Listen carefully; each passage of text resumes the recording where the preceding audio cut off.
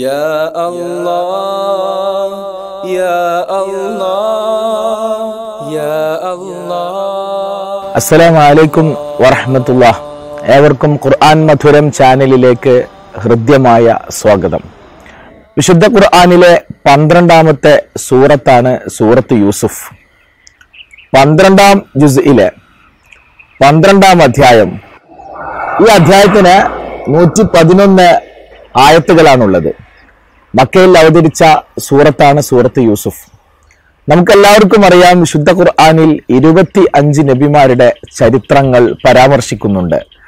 എന്നാൽ ഒരു നബിയുടെ ചരിത്രം പരാമർശിക്കുന്നത് ഒരു സൂറത്തിൽ ആദ്യം മുതൽ അവസാനം വരെ ഒരു നബിയുടെ ചരിത്രം കൃത്യമായി ഇടമുറിയാതെ പരാമർശിക്കുകയും മറ്റ് സൂറത്തുകളിൽ ഒന്നിലും ആ നബിയുടെ ചരിത്രം പരാമർശിക്കാതിരിക്കുകയും ചെയ്ത ഒരേ ഒരു പ്രവാചകനാണ് വിശുദ്ധ ഖുർആാനിലുള്ളത് അതാണ് മഹാനായ യൂസുഫ് നബി അലൈഹി സ്വലാത്തു വസ്സലാം സൂറത്ത് യൂസുഫിലെ നാലാം വചനം إذ قال يوسف لأبيه يا أبت إني رأيت أحد عشر كوكبا والشمس والقمر رأيتهم لي ساجدين എന്ന് തുടങ്ങുന്ന നാലാം വചനം മുതൽ നൂറ്റി ഒന്നാം വചനം വരെ മഹാനായ യൂസുഫ് നബി അലൈഹി സ്വലാത്തു വസ്സലാമിന്റെ ചരിത്രം ഇടമുറിയാതെ പരാമർശിക്കുകയാണ്. മറ്റൊരു സ്ഥലത്തും യൂസുഫ് നബിയുടെ ചരിത്രം പരാമർശിക്കുന്നില്ല എന്നതും ശ്രദ്ധേയമാണ്. അതേസമയത്ത് മറ്റു നബിമാരുടെ ചരിത്രങ്ങൾ വിശുദ്ധ ഖുർആാനിൽ ഒരു സ്ഥലത്ത് പറഞ്ഞതിന്റെ ബാക്കി മറ്റൊരു സൂറത്തിലാണ് നാം കാണുക. ചില നബിമാരുടേത് ഒരു സ്ഥലത്ത് ചുരുക്കി പറഞ്ഞതിന് മറ്റൊരു സൂറത്തിൽ വ്യാഖ്യാനം കാണാൻ സാധിക്കും. ചില നബിമാരുടെ ചരിത്രം ആ, ആവർത്തനമെന്ന് തോന്നുമാറ് പല സ്ഥലങ്ങളിലും കാണും. സന്ദർഭം കൊണ്ടും അതുപോലെ ആശയം കൊണ്ടും വ്യതിരിക്തതയുണ്ടാകുമെങ്കിൽ പോലും ഒരേപോലെ നമുക്ക് അത് അനുഭവപ്പെടാം. എന്നാൽ വളരെ വ്യത്യാസ വളരെ വ്യത്യസ്തതയുള്ള ഒരു സൂറത്താണ് സൂറത്ത് യൂസുഫ്.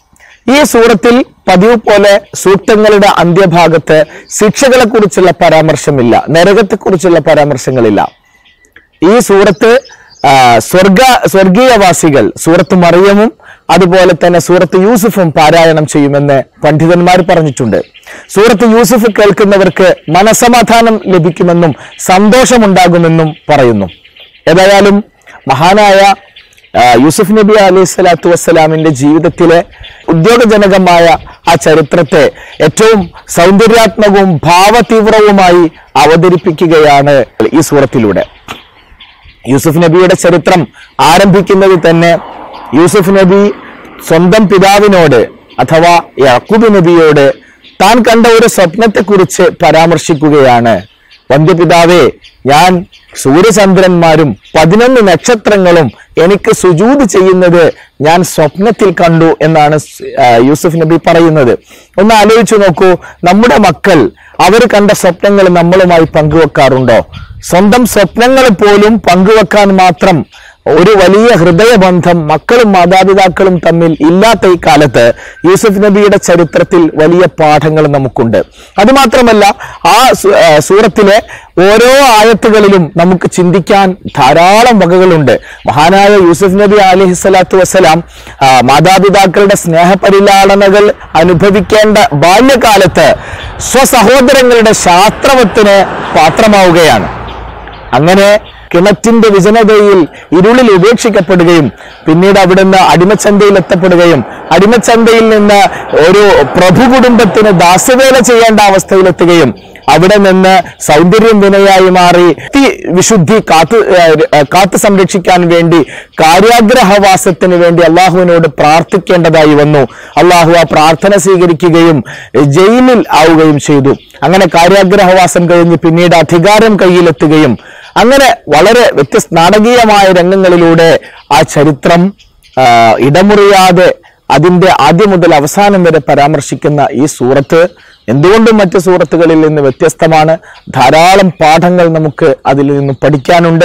വിശുദ്ധ ഖുർആാനിലെ ഓരോ അധ്യായങ്ങൾക്കും ധാരാളം പ്രത്യേകതകളുണ്ട്. സൂറത്ത് യൂസുഫിന് നമ്മൾ ധാരാളം ഒരു വർഷത്തിൽ പലതവണ പഠന വിധേയമാക്കേണ്ടുന്ന ധാരാളം ഗുണപാഠങ്ങളുള്ള ഒരു സൂറത്താണ് എന്ന് നമുക്കെല്ലാവർക്കും അറിയാം. അള്ളാഹു വിശുദ്ധ ഖുർആാനിനെ കൃത്യമായി അടുത്തറിയാനും അതുപോലെ തന്നെ വിശുദ്ധ ഖുർആാനിന്റെ ആശയങ്ങൾ ഉൾക്കൊള്ളാനും ശുദ്ധ ഖുർആൻ പാരായണം ചെയ്യാനും ഖുർആന്റെ അഹ്ലികാരിൽ പെടാനും നമുക്ക് എല്ലാവർക്കും തൗഫീഖ് ചെയ്യുമാറാകട്ടെ. മഹാനായ നബി തിരുമേനി സല്ലാഹു അലഹി വസല്ലം നബി തിരുമേനിയുടെ പൂർവപിതാക്കന്മാരിൽപ്പെട്ട ഇബ്രാഹിം നബി അലഹി സ്വലാത്തു വസ്സലാമിന്റെ മകൻ ഇസ്ഹാഖ് നബിയുടെ മകൻ യഴക്കൂബ് നബിയുടെ മകൻ യൂസുഫ് നബി അലൈഹി സ്വലാത്തു വസ്സലാമിന്റെ ചരിത്രം പറഞ്ഞു കൊടുത്തുകൊണ്ട് പിന്നീട് ഉണ്ടാകാനും പോകുന്ന ഹിജറക്ക് ഒരു വലിയ ഉത്തേജനം നൽകുക കൂടിയാണ് ഈ സൂറത്തിന്റെ ലക്ഷ്യമെന്ന് പറഞ്ഞ പണ്ഡിതന്മാരുണ്ട്. ഏതായാലും ആ അധ്യായത്തെ കൃത്യമായി പഠിക്കാനും അത് നമ്മുടെ ജീവിതത്തിലേക്ക് അതിന്റെ ഗുണപാഠങ്ങളെ പകർത്താനും അള്ളാഹു തൗഫീഖ് ചെയ്യുമാറാകട്ടെ എന്ന് ആത്മാർത്ഥമായി പ്രാർത്ഥിച്ചുകൊണ്ട് അടുത്ത എപ്പിസോഡിൽ മറ്റൊരു വിഷയവുമായി കണ്ടുമുട്ടാമെന്ന പ്രതീക്ഷയോട് അവസാനിപ്പിക്കുന്നു. വാഹൃദ അനിൽഹമുല്ലാഹി റബ്ബുൽ ആലമീൻ. അസ്സലാമു അലൈക്കും വറഹ്മത്തുള്ളാഹി.